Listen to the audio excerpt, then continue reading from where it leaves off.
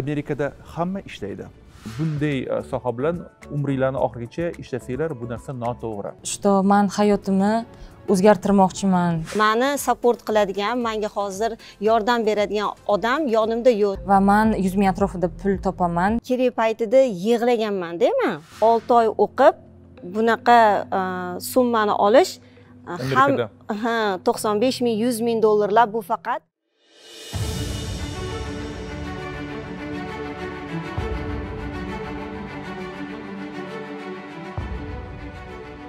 bundan 3 yil oldin meni bir tanishim green karta yutib olgan va o'zbekistondagi amerika elchixonasiga suhbatga kirgan. Konsul unga savol bergan. Siz o'zbekistonda nima ish qilasiz va turmush o'rtog'ingiz nima ish qiladi? Shunda tanishim unga aytgan men tadbirkorman va amerikaga borgan paytimda tadbirkorlik faoliyatini ko'rsatmoqchiman. Turmush o'rtog'im esa uy bekasi. Amerikaga borganda ham u hech qayerda ishlamaydi u uyda o'tiradi. Shunda konsul ularga shundoqqina rad javobini pasportlarga bosib bergan chunki konsulni javobi shunday bo'lgan. Amerikada hamma ishlaydi. Assalomu alaykum hurmatli do'stlar. Mister otabek tv kanaliga va virjiniyaga xush kelibsizlar. Afsuski shunday tendensiya davom etmoqdaki o'zbekistondan amerikaga ko'chib kelgan oilalarda faqatgina erkaklar ishlashadi ayollar esa ko'pincha uyda uy bekasi bo'lib o'tirishadi.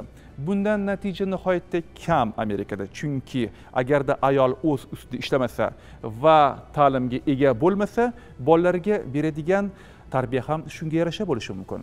Shuning uchun ham hozirgi kunda amerikada istiqomat qilayotgan bizning vatandoshlarimiz va ayniqsa ayollarimiz uy bekasi emas balkim home attendant ya'ni qariyalarga qarash bilan emas oliy ma'lumot olishga va qolaversa kasb hunar o'rganishga harakat qilishyapti.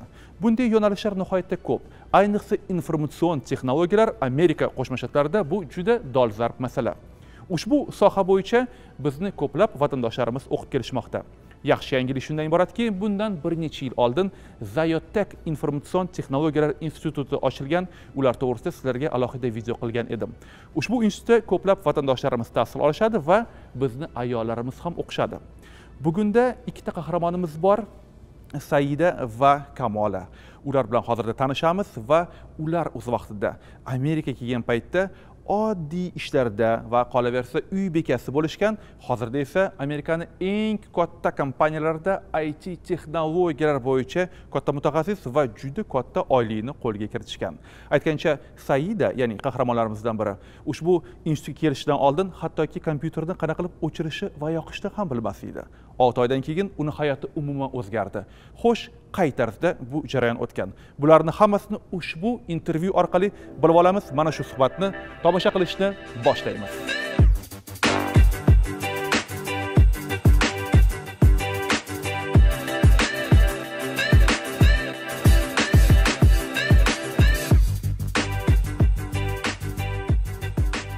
Saida kamola assalomu alaykum.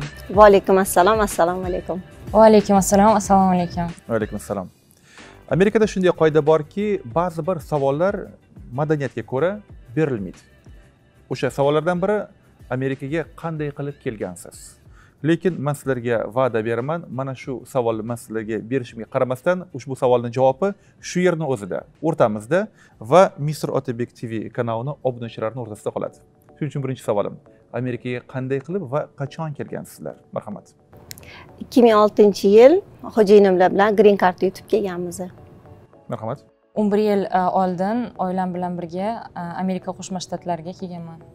Bilasizlarmi men e, besh yil oldin amerika qo'shma shtatlariga ko'chib kelganman va bu yerda aynan o'sha musofirchilikni noni qiyin.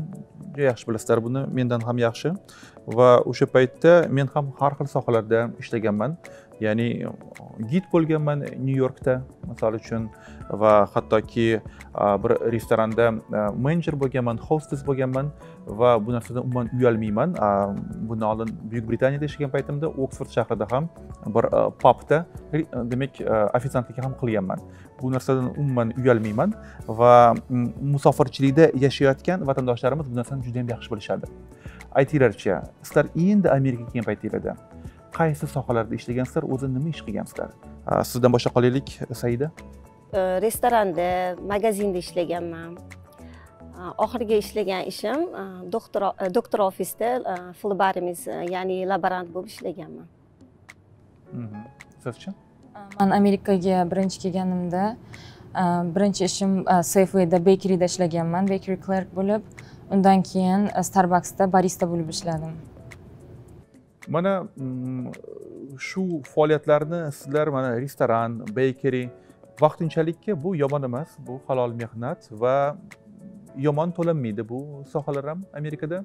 Shuning uchun o'sha sohada sizlar ozgincha ishladinglar o'sha til o'rgandinglar amerikani ozgincha e, demak sharoitini atmosferasini tushundinglar ozgincha tajriba oshirdinglar va shundan keyin bir xulosaga keldinglarki e, bunday e, soha bilan umringlarni oxirigacha ishlasanglar bu narsa noto'g'ri. Va shundan keyin it sohasiga adashmasam sizlar qo'l urishga harakat qilib ko'rdinglar.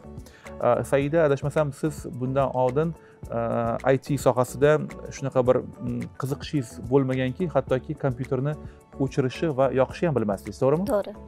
Demak aytingchi birinchi savolim shundan iboratki qayerda o'qigansizlar aynan informatsion texnologiyalar yo'nalishida va mana shu o'quv jarayoni qay tarzda o'tgan? Marhamat saida man zayotekda o'qiganman. O'qish jarayonimni birinchi bo'lib boshlagan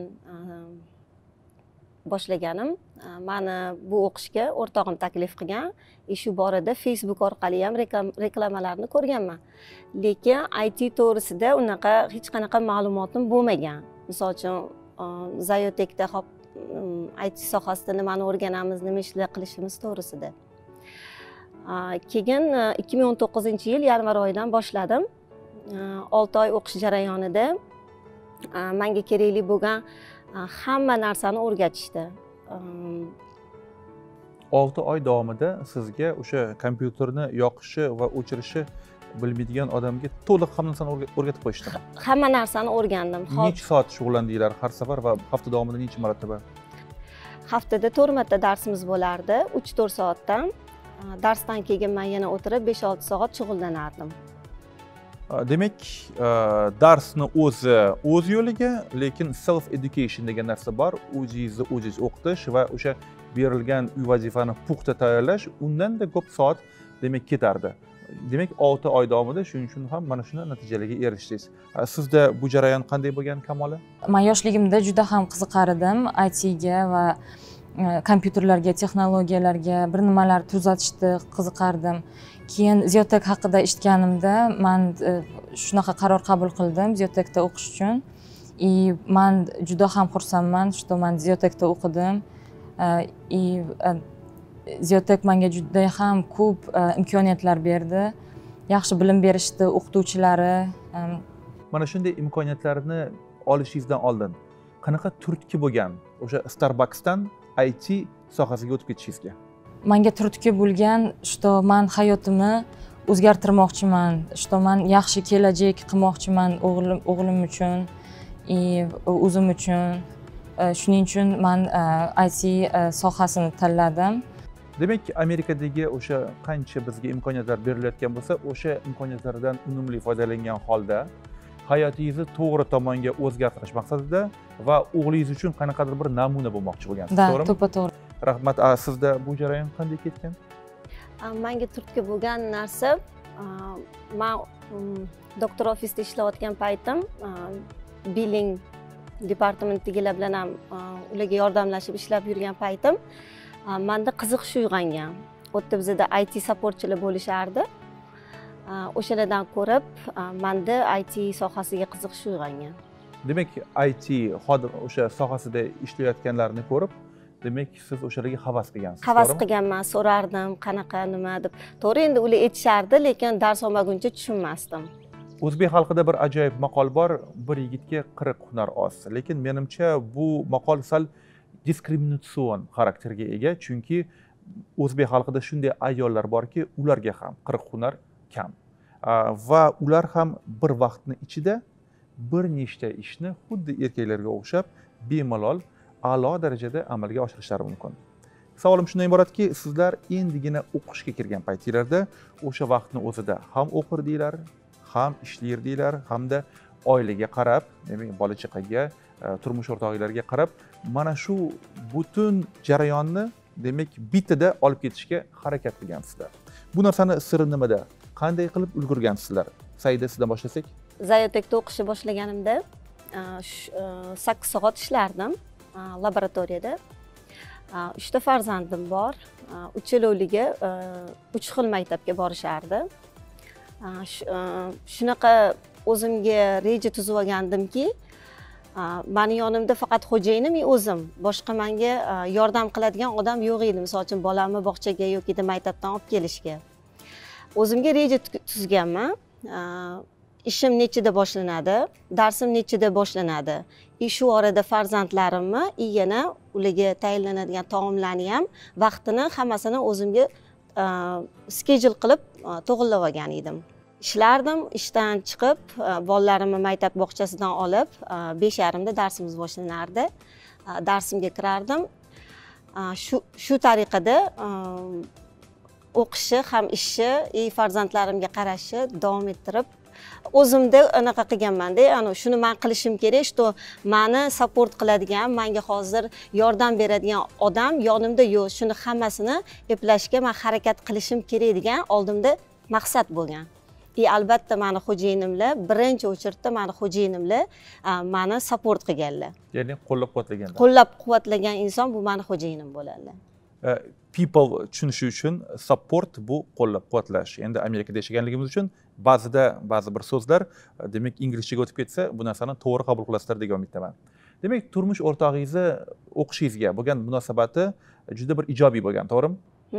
Ular e, manga mana man o'qigan paytimda shunaqa holatlarga tushganmanki kerak paytida yig'laganmanda man qiynalganman boshida chunki manga bu soha judayam yengillik bo'lganda o'sha paytda hammaga aytaman agar yoningizdagi turmush o'rtog'ingiz sizni qo'llab quvvatlasalar darsdagi bo'layotgan qiyinchiliklar sizga sezilmaydi. Man qiynalgan paytim e, shunaqa narsalarni ko'p aytardilarki man sanga ishonaman san shuni qila olasan degan deb aytardilarda e, man keyin o'sha narsa mani xayolimda ko'p aylanardida demak manga turmush o'rtog'im ishonyapti man shuni qila olaman demak manda shu kuch borligini mani xo'jayinim biladi. И man shuni isbotlayman deb o'qib bitirib mana shunaqa o'qib bitirganman o'qishni hurmatli amerika qo'shma shtatlaridagi bizning o'zbekistonlik erkaklar iltimos turmush o'rtog'inglarni mana shundoq tarzda qo'llab quvvatlab ularga motivatsiya berishga harakat qilinglar. Chunki o'qigan va ta'lim olgan ayolni tarbiyasi ham sizning farzandingiz uchun o'zgacha bo'ladi. Marhamat kamola siz bilan davom ettiramiz siz mana shu jarayonda qanday qilib ulgurgansiz hammasiga? Ham o'qish ham ish ham oilaga? Judayam qiyin savol berdingiz. Bu man uchun juda ham mashaqqatli bo'lgan chunki man yolg'iz qo'l balamni ham tarbiyalaganman ham ishlaganman ham o'qiganman.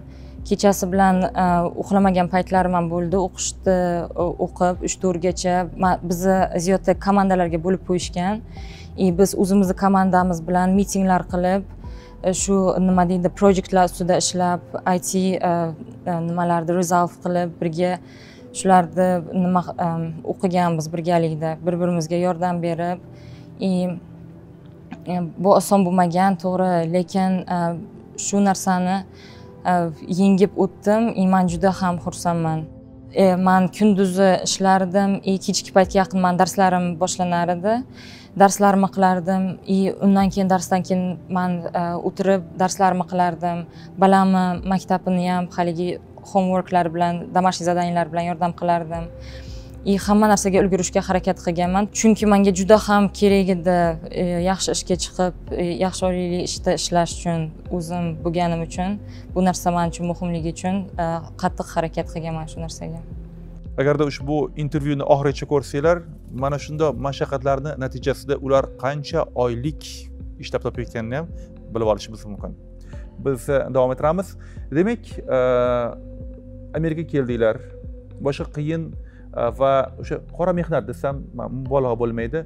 Shu sohada halol asosiysi mehnat bilan shug'ullandinglar keyin mana shunday turtkilar bo'lgan keyin yoninglardagi oila a'zolar qo'llab quvvatlagan o'zinglar oldinglarga maqsad qo'ygansizlar o'qish va qaysi yo'nalishni tanlash kerak deb aynan it sohasini tanladinglar. Zayotekka kelib o'qidinglar. Mana natijada hozirda sizlar qayerda ishlayapsizlar? Qaysi sohalarda va qaysi kompaniyalarda? Bu savolni marhamat saida sizdan boshlaymiz. Hozirgi kunda man healthcare industriyada ishlayman ya'ni bu sog'liqni saqlash. O'qishni olti oylik kursini bitirganimizdan keyin bir oy davomida ishga kirganman. Olti soatlab o'tirgan qilgan darslarim behuda ketmaganligini shundan ham bilsanglar bo'ladi. И man bundan judayam xursandman. И hozirgi kunda shu aqshdagi kompaniya eng katta sog'liqni saqlash kompaniyalarini birida ishlayman. Va zayotekka katta minnatdorchiligimni bildiraman va man bundan judayam xursandman. Chunki boshida aytganimdek it sohasida manda hech qanaqa ma'lumot bo'lmagan oldin tushunarli. Demak hurmatli do'stlar o'zi amerika qo'shma shtatlarida eng qiyin va eng obro'li uchta yo'nalish bor. Bu yuridik sog'liqni saqlash va ta'lim yo'nalishi va hozirda saida aynan sog'liqni saqlash bilan bog'liq bo'lgan amerikani eng katta tashkilotlaridan birida ishlamoqda. Manimcha bu nafaqatgina siz e, o'sha sifatli ta'lim olganingiz balkim eng asosiysi uy vazifani vaqtida qilib o'z ustingizda ya'ni self education qilgansiz to'g'rimi? Kamol aytingchi o'qishni bitirgach qayerga o'qishga kirgansiz va qaysi kompaniyada yoki qaysi yo'nalishda hozirda ishlayapsiz? Eh, man o'qishni bitirgach eh, etna insurance kompaniyasiga sug'urta kompaniyasiga ishga kirdim. Devops injener bo'lib. И shu kompaniyada hozirgi kunda man ishlayapman. Eh, undan tashqari man minnatdorchiligimni zafar rustamov va ma'mur azimovga bildirmoqchiman. Chunki ularni yordami bilan bu pedagoglarimiz bizga motivatsiya berib shunchalik bizga nima deydi kuch berishdi что biz ishlarni topib yaxshi joylarda ishlayotganimiz uchun. Demak mana shunday sifatli ta'limni sirlaridan biri bu professional pedagoglar ya'ni professional o'qituvchilar. Aynan shunday o'qituvchilar zayotek e, it institutida hozirda ishlashmoqda. Ularni juda yam yaxshi taniysizlar chunki bundan oldin roppa rosa bir yil oldin zafar aka hamda ma'mur aka bilan men mana shunday tarzda suhbat o'tkazgan edim. Demak bugungi intervyuni eng kulminatsion nuqtasiga yetib keldik desam mubolag'a bo'lmaydi. Xo'sh mana o'qidinglar o'zinglarni ustinglarda ancha ishladinglar mana shundoq kompaniyalarga ishga kirdinglar. Endi maosh qanaqa? Bilamizki amerikada bir yilda o'sha butun e, qancha ishlab topgan bo'lsangiz o'sha summa hisoblanadi to'g'rimi? Kamol keling sizdan boshlaymiz. Siz mana sakkiz oy oldin ushbu sug'urta kompaniyasiga ishga kirdingiz to'g'rimi? Demak sizni hisobingiz bo'yicha bir yilda siz qancha oylik olasiz e, hozirgi pozitsiyam senior devops engineer va man yuz ming atrofida pul topaman. Yiliga yuz ming dollar e, plyus o'n ming dollar bonusi bilan va bu narsa pozitsiyangizga bog'liq o'zgarishi mumkin masalan bir ikki yildan keyin demak perspektiva bor shu bir ikki yilda agarda demak sizni pozitsiyangiz o'zgarsa shunga qarab oylik ham oshib ketaveradi oylik ham oshib ketaveradi ha juda yam yaxshi saida aytingchi sizda mana adashmasam o'qishni tugatgach shu kompaniyaga ishga kirdingiz va haligacha shu kompaniyada ishlab kelmoqdasiz. Necha yil bo'ldi? Ikki yil bo'ldi adashmasam ikki yil bo'ldi xudo xohlasa. Demak bir yilda siz qancha pul topasiz? Bir yilda man to'qson besh ming topaman. Manda bonusim o'n ming dollar yana bonus olaman. Lekin shu orada bizada yana k one pto yana insurance degan benefitlarimiz bor yana bitta narsani ta'kidlab o'tmoqchimanki siz mana pto degan vacationga ketasiz misol uchun man o'zim mana o'zimdan chiqib aytaman почти bir oy toshkentda bo'ldim. Kompaniya mana shu bir oy ichidagi hamma ishlamagan paytimdagi vaqtdagi pulni ham xuddi o'shanaqa qanaqa ishlab topgan bo'lsam shunaqa qilib to'lab berishdi. И man yana bir narsani ta'kidlab o'tmoqchimanki olti oy o'qib bunaqa summani olish ham ha to'qson besh ming yuz ming dollarlar bu faqat minimum boshlanishi. U sizni yana anaqa nima desam bo'ladi qancha yana harakat qilib ko'proq darslar qilib qancha o'zingizni eksperiensingizni oshirib boraversangiz undan ham ko'proq oyliklarni olasiz. Demak to'qson besh ming dollar oylik yiliga demak saidada va yuz ming dollar kamolada va o'n ming dollarli benefitlar. E, sizlarni hozirda ko'rib turgan amerika qo'shma shtatlaridagi bizni ayollarimiz ko'rib ancha havaslari kelayotgan bo'lsa kerak. Va shuning uchun keyingi va oxirgi savolim shundan iboratki har biringlar agarda iloji bo'lsa uchtadan maslahat bersanglar. Aynan bizni aqshdagi ayollarimizga. Ular ham mana shunday yutuqlarga erishish uchun nima qilishlari kerak? Saida sizdan boshlaymiz. Man hamma ayollarimizga va ularni e, farzandlariga ham e, aytadigan maslahatim birinchi o'rinda odamni o'zida ishonch bo'lish e, и maqsad. Shu narsani man qila olmayman и qilaman. Mana hozir ko'rib turishibdiku bizani ham intervyuda ularda qancha qiziqish qancha savollar uyg'onadi. И hozirgi berilayotgan vaqtdan unumli foydalanish. Demak agarda saidani maslahatlarini rezyume qiladigan bo'lsak eng birinchisi bu o'zingizga bo'lgan ishonch keyingisi bu albatta qo'ygan maqsadingizga tobora erishishga harakat qilish va vaqtdan unumli foydalanish. Menimcha bir e, qiziqarli va ekstraordinar maslahatlar bo'ldi. Rahmat sizga. Saida e, kamola marhamat sizdan uchta maslahat. E, o'zbek ayollarimizga maslahatim bu Э, birinchi o'rinda amerikani madaniyatini va tarixini o'rganish bo'ladi. Ikkinchi maslahatim bu o'zlarini ustlarida ishlab va o'sish maslahatim bo'lardi. Va uchinchi maslahatim bu o'zliklaringni yo'qotmaslikni e, so'rar edim. O'zimizni e, urf odatlarimizni millatimizni e, halollik va shu shu kabi narsalarni yo'qotmasliklaringni maslahat berar edim. Juda yam yaxshi. Demak e, kamolani maslahatlariga ko'ra e, albatta amerikaga kelgandan keyin e, ushbu davlatni madaniyati va tarixini ham albatta o'rganish kerak. Hamda odam hamisha o'zini ustida ishlab qayerdan kelganligini unutib qo'ymagan holda o'sha o'zbekona qadriyatlarni albatta bilishi va ularga amal qilishlari shart. To'g'rimi? To'g'ri. Otabek aka sizga kattakon rahmat.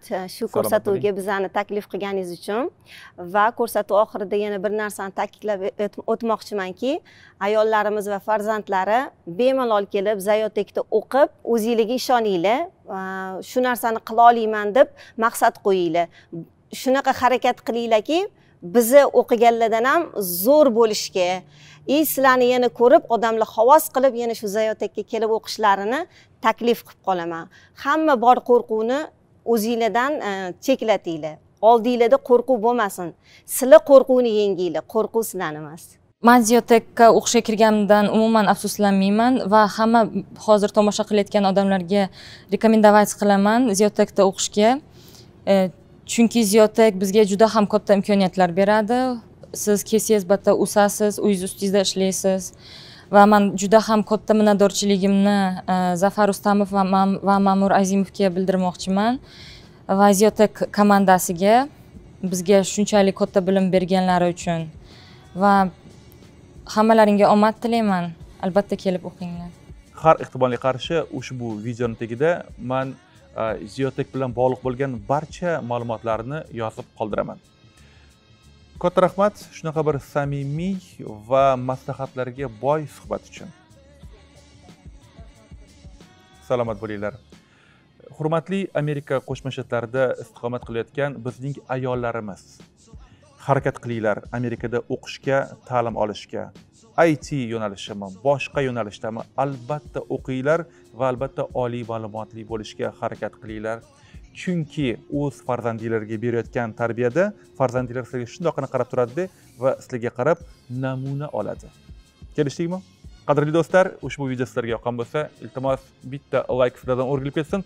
Faqat dislayk bilan adashtirmagan holda eslatib o'taman bizda yangi ikkita kanal bor mister otabek times. U yerda siz premyeralarni va ijodimni ilk namunalarini ko'rishingiz mumkin hamda mister otabek intervyu. Bu yerda siz senzurasiz bo'lgan eng eksklyuziv suhbatlarni ko'rishingiz mumkin va bizni hozirgi asosiy mister otabek tv kanali. Agarda ushbu kanalga obuna bo'lmoqchi bo'lsangiz videoni tagida qizil tugmacha bor o'zbek tilida yozilgan obuna bo'lish rus tilida подписаться ingliz tilida subscribe. O'shani shunaqani bosib qo'ysanglar oldida qo'ng'iroqcha ham bor. Buni ham bosib qo'ysanglar demak har safar biz yangi video qo'ygan paytimizda sizlarga xush xabar keladi. Mister otabek tv kanalida yangi video qo'yildi. Deb nima ham derdim mister otabek tv kanalida va virjiniya shtatida joylashgan zayotek institutida ko'rishganda ko'rishguncha.